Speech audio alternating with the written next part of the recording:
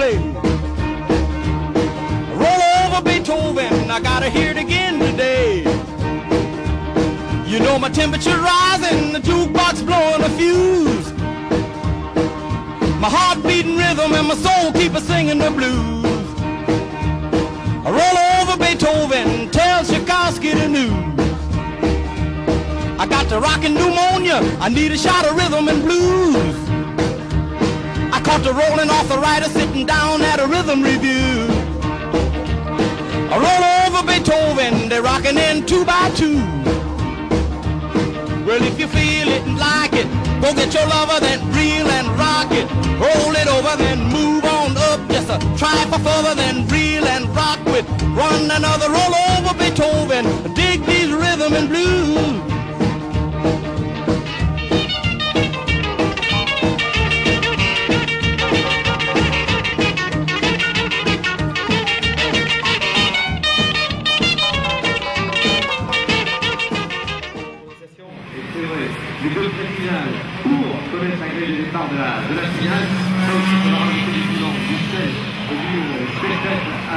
À, cette euh, invitation. Il y a des particularismes de ce type sur une liste de schéma. C'est une excellente chose. La finale 2 qui est reliée tout à l'heure à 14h et 16 regardez bien, mesdames et messieurs.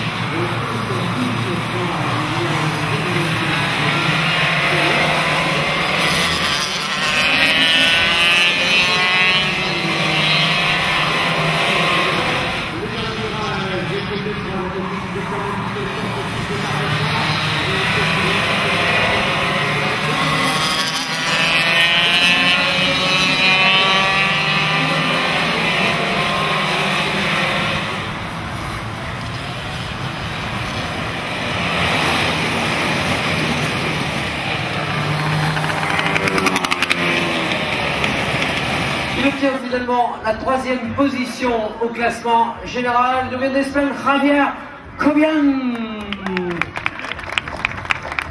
la deuxième position, il est en tête de championnat. Il s'appelle Jonas Apalainen, coming from Finland. Et enfin le leader, regardez ici, il a le sourire. Lui nous vient de Belgique. Il s'appelle Benjamin Lessen. Wow Superbe, superbe, superbe victoire. Naturellement, pour euh, ce trio, regardez, un petit peu de mal à escalader les hauteurs de ce podium, un podium qui va s'accompagner évidemment des bannières qui sont liées à l'une des autres de ces nations, des bannières qui vont monter avec euh, celle de l'Espagne, on vous l'a dit, celle de la Finlande et puis celle de la Belgique. On y va pour écouter l'hymne belge.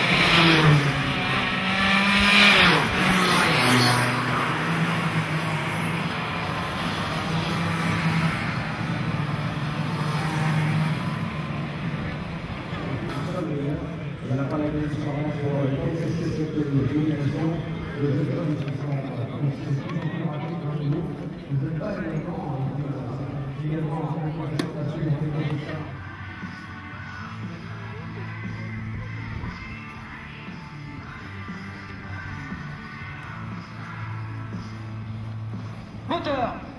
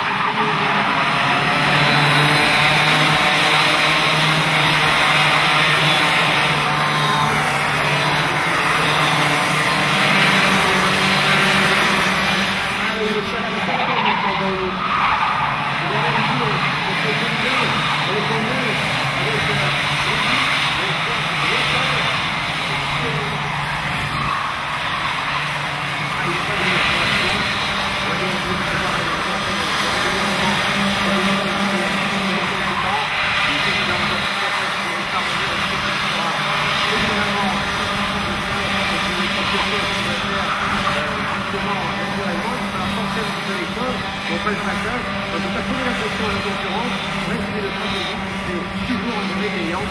Et Pablo continue de profiter de cette bagarre derrière pour prendre là, pour prendre un petit peu d'activité le Pablo de lancer. La pas de récupérer terminé par la Palaïden. La Palaïden qui va chercher à attaquer maintenant. Et ça va passer. Ouais, il est passé la Palaïden. Alors, on s'apprend à deux minutes à l'heure.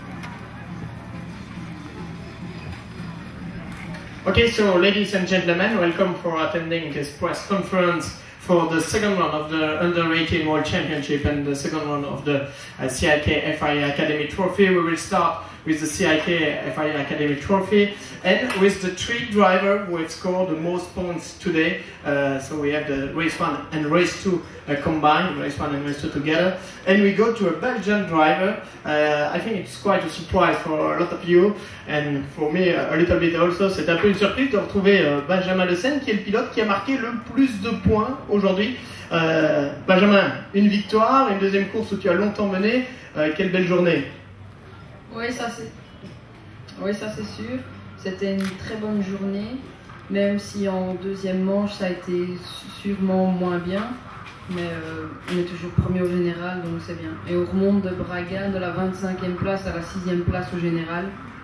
Donc euh, c'était un très bon week-end. So uh, he says, Benjamin, uh, uh, yes, uh, it was of course a very, very good day. Uh, in it was a first very good first race. In the second race, it was quite a bit more difficult uh, as he finished in sixth position. But in the championship, it's quite good also because he was 25 before this race, and now he comes back in the sixth position. Benjamin, est-ce que tu t'attendais à pouvoir jouer la victoire ici? did you expect to be able to win here? J'aurais espéré un top 10, mais jamais euh, un top 3.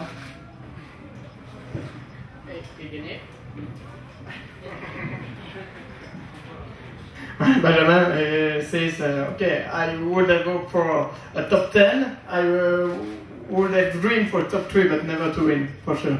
Congratulations, bravo, uh, Benjamin. We go now to Jonas Lapalainen. Jonas was the leader of the championship before arriving here in France. He's still the leader in the championship. So on the end, it's not so bad, and I think you have increased your lead. The gap is bigger than before. Yes, so we got a few more points to the lead, uh, to the lead for to the second driver, and uh, of, although it was a really hard weekend for our team, so in the end we it came out good as we finished second and fourth in the races. C'est pas mal. Jonas, why do you say it was a difficult weekend? What happened? Yeah, we had a bit of problems with the uh, tow our chassis in the beginning of the weekend, but it turned out well, and uh, we knew that we are very competitive after Braga, as we saw we are doing well. So Yeah, it was expected that we could finish in top five in every in both races. So it was in the end it turned out good as better than we expected. Sì, dopo tutta la sfortuna che abbiamo avuto questo weekend ci voleva mm, questa, questa vittoria perché abbiamo sempre avuto la possibilità di arrivare davanti, però nelle manche in gara 1 abbiamo avuto molta sfortuna, quindi ho avuto una rivincita. So Matthias says, yeah, finally it was a good way to finish the weekend because at the beginning uh, we had very, very bad luck, but finally I could come back and I could win this race and uh, I had a very good, uh, good first race and then I could win the second one. Donc Mathias qui dit on n'a pas eu beaucoup de chance au début du week-end, on se souvient qu'il avait eu des soucis euh, hier notamment, et puis on a pu euh, remonter dans la première course et gagner la deuxième, donc c'était c'était vraiment parfait. Mattia, c'est anche una favorite per il campionato, per, eh, per Bahrain?